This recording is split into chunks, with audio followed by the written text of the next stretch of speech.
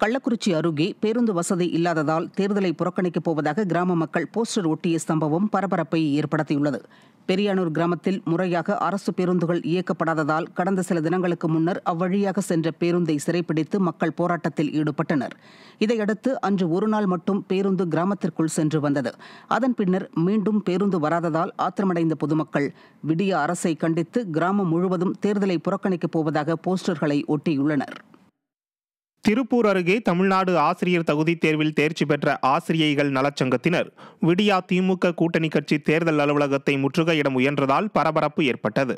கடந்த தேர்தலின் போது பொம்மை முதல்வர் ஸ்டாலின் ஆசிரியர் தகுதி தேர்வில் தேர்ச்சி பெற்ற அனைவருக்கும் பணி வழங்கப்படும் என்று வாக்குறுதி கொடுத்தார்.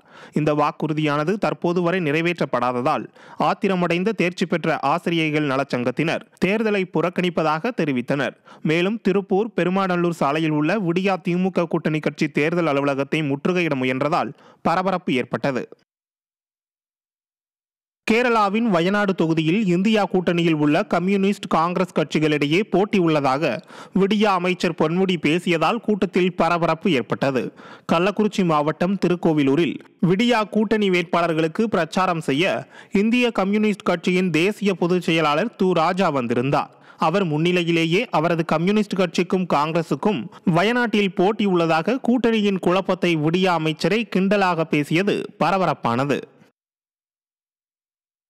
கள்ளக்குறிச்சி மாவட்டம் சங்கராபுரம் மும்முனை சந்திப்பில் வாரிசு அமைச்சர் உதயநிதி ஸ்டாலின் பிரச்சாரத்தில் ஈடுபட்டார்.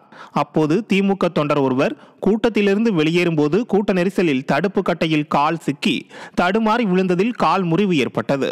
இச்சம்பவம் பொதுமக்கள் மத்தியில் பரபரப்பை ஏற்படுத்திய நிலையில் விடியா திமுக பிரச்சாரத்தின் போது முறையான பாதுகாப்பு பணியை மேற்கொள்ளாததால் உடன்பிறப்புகளுக்கே பாதுகாப்பில்லாத சூழல் உருவாகியுள்ளதாக மக்கள் குற்றம் சாட்டினர். கடலூரில் திமுக அமைச்சருக்கு சால்வை அணிவிப்பதில் சகோதரர்களிடையே தகராறு ஏற்பட்டது பரபரப்பை ஏற்படுத்தியது. கடலூர் நாடாளுமன்ற தொகுதி திமுக கூட்டணி கட்சியான காங்கிரஸ் வேட்பாளர் விஷ்ணுவை ஆதரித்து அமைச்சர் சி வே கணேசன் வாக்கு சேகரிப்பில் ஈடுபட்டார். அப்போது மணலூர் பகுதியில் திமுக அமைச்சருக்கு சால்வை போடுவதில் அண்ணன் தம்பிக்கு இடையே தகராறு ஏற்பட்டதாக கூறப்படுகிறது.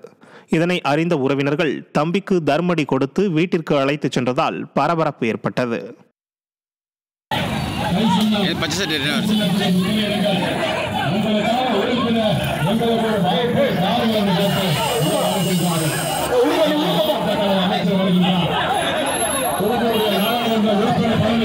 தேர்தல் களத்தில் இணைக்கக்கூடிய இந்திய தேசிய காங்கிரஸ் கட்சியுடைய வேட்பாளர் வேட்பாளர் அருமையண்ணா